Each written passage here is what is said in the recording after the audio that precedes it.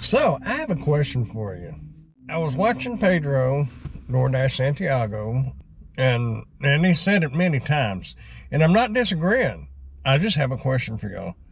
Do you think these gig apps is a good way to make a living? Or do you think they could should just be used for a temporary solution for money flow, cash flow? What do you think?